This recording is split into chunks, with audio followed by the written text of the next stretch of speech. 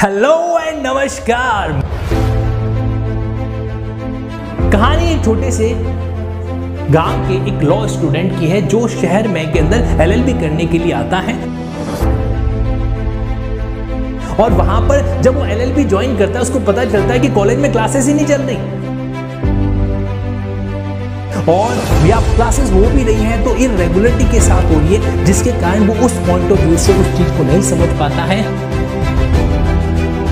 और लॉ को एलएलबी को तो क्लियर कर लिया, चलो पास आउट कर लिया। लेकिन जब रियलिटी में कोर्ट के अंदर प्रैक्टिस करने आता है, तब उसे बड़ा इंसल्ट फील करना पड़ता है, क्योंकि उसके जो कॉन्सेप्ट है, वो कहीं कहीं अधूरे पड़े आप में से किसी भी स्टूडेंट की हालत इस एलएलबी के स्टूडेंट की तरह ना हो।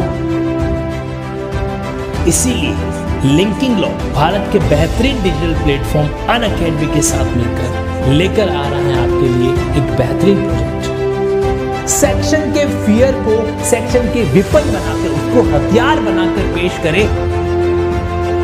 लॉस कोई कोई उद्देश्य नहीं, कोई अपने अपने लक्ष्य नहीं, बल्कि ये कॉन्सेप्ट है। बस एक प्रॉमिस कर दो, भले शब्दों में मत कहो, लेकिन एक प्रॉमिस कहो, यार हार नहीं मानोगे।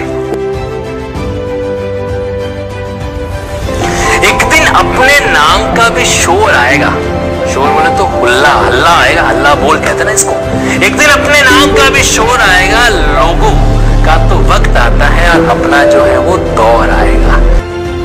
ब्रह्मांड के सबसे बड़े मोटिवेटर लॉर्ड कृष्णा ने रणभूमि के अंदर अर्जुन से कहा था कि अर्जुन, जब सब कुछ फाइनल हो चुका है, जब युद्ध का आगाज़ हो चुका है, और अब तुम ये कह रहे हो कि मैं युद्ध नहीं लड़ सकता।